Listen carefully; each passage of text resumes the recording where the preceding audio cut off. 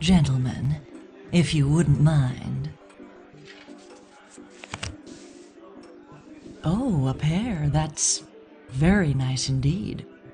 Go hang it. Hmm. Uh-oh. Two pairs. A pair of kings and a pair of aces. Ah. My turn now, is it? Well, now, let's see. Jack of hearts and diamonds. Queen of spades and diamonds. And queen of hearts. Full house. Gentlemen, it was a pleasure.